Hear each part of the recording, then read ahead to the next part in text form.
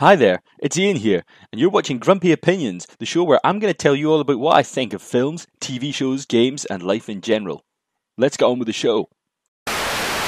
Outlander is the show where Claire, a 20th century English nurse, is lost in time in France trying to prevent the massacre of Culloden with the help of her 18th century Scottish husband Jamie and his friend Murtagh. Episode 2, Not in Scotland Anymore, is the proper start of Claire's adventures in France. After last week's bustle, ship burning, and smallpox, it's nice to see the loving couple, well, coupling lovingly. But, unfortunately, it's a nightmare, showing us Jamie's not at all over the rape and abuse he suffered last season at the hands of Black Jack Randall, and it's keeping him up all night, literally. So Claire's goes to the local French superdrug to get him some sleeping herbs from that guy that was in Delicatessen.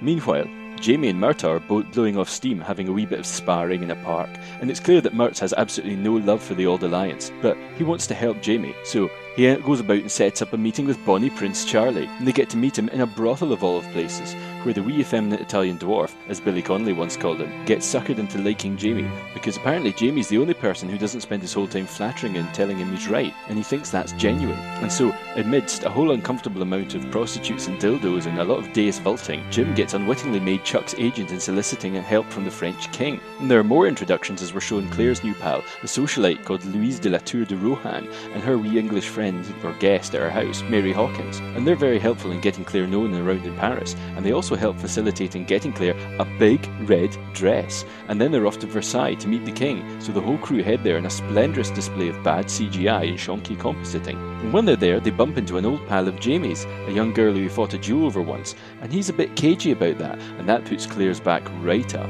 But luckily, he gets hoisted off to see a constipated king, who he recommends eats a bowl of porridge while Claire hits, gets hit on by a bloke from Lahan. Of course, Jamie sees this and ends up throwing the guy in the river. And it turns out that he's the Minister of Finance, the very man they planned to chat up and befriend when they were there. Luckily, it turns out he's a good sort, got a good sense of humour, and he doesn't take it all too seriously. And it's all going swimmingly, literally. And even Murtagh starts to enjoy himself a bit, until that is, Jamie starts to cockblock him. And just at that point, they spot the Duke of Sandringham. Wow, he's back. And it turns out he's also chatting up the royals for whatever his mysterious purposes are. And in tow, he has Black Jack's cough ridden little brother, who drops the bombshell that old Jack is not only alive, but actually in pretty good fettle. Especially surprising after the cattle stampede he was in last season. Remember that? Hmm? And that leaves Claire shocked and staggers, and just as his fireworks start in the sky above the palace, the episode ends. So, what did I think? Well, I think that Paris looks amazing, and I think the choice of putting in a few French actors and new faces this season is a really good one. And that, as usual, on a technical level, Starz have done a great bit of work. I mean, that dodgy CGI horse fountain aside. I mean, I also love that we got to see Jamie and Murtagh not really fitting in in France, and seeing that they're really rounded people who have prejudices and feelings. You know, they actually feel like real people. But to be honest, that's kind of all of the good I'm actually going to say on this episode. Yeah, folks, this is categorically, completely my least favourite episode of Outlander ever so far. Seriously. I mean, I'm going to be as fair as I can with my grumps, but they are many. So let's start near the beginning. Foreshadowing. Now, I get that this is the first full episode set in the 1740s, and a lot needs to be put in pl- place. In France, I mean. But let's start with the apothecary scene. Now, that smacked of this place and people will be important later, because otherwise, that was a totally superfluous scene. It really added nothing more than minutes to the plot. There's also, frankly, some really borderline racist stuff in this episode. Now, I get that it's cool to be racist towards the French, in TV terms at least. I mean, in real life, that's pretty not cool. I've got French friends, and that's not nice. But playing up the stereotypes of them being sex crazed cheaters and snooty, aloof people isn't anything new. And but it actually felt a little bit forced, especially when we get hit with the hugely overdone leg and Brazilian waxing scene only a couple of minutes just before this whole business of a constipated king. Now, I'm not a historian, and some of this stuff might actually be quite realistic, but the problem is it made the show feel like I was watching Blackadder, but only not as funny or as clever, or like some other similar period comedy.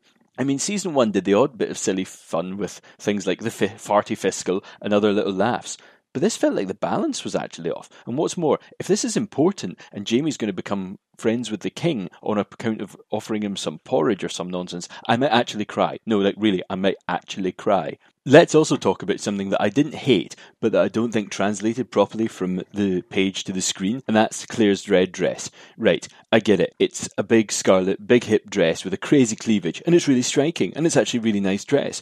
But We're given no reason in the show to understand why it's important. None at all. That's totally glossed over. I mean, there's a one tiny offhand line given. But what's more, the actual ornament incredible detail on the other dresses, such as the one that Louise de la Rohans wears in the opening shots of the episode, actually looked far more interesting and far nicer dresses. I mean, to me at least. I mean, I'm no expert. As a result, it meant close to nothing to me, other than making me feel a bit like Claire looked totally out of place. It was a bit like somebody wearing a leather miniskirt and a bra with chrome studs on it to a cocktail party where everyone else is in like top and tails. It's just gaudy and attention seeking. I mean, again, this is presumably for book fans, going by like stuff I've seen on Twitter and Facebook about people talking about that dress and why it's important. But this is the thing you need to include that information in the show, and if you don't, it just ends up being meaningless. I mean, this is the first time I've actually ever watched an episode of Outlander and felt like I've been missing great tracks of story. It's like they've picked five scenes out of maybe four or five chapters and just ditched everything else and gone, this is the important stuff going forward. Now, that's a, maybe a necessary part of the adaptation process, and the show was still good. I mean, it's still better than a lot of shows out there, but I felt let down. And I still hope that the season gets back on track next week. I mean, it wasn't terrible, but it has been better before, admit it, folks. But anyway, till next week, I've been Ian, and these have been my grumpy opinions.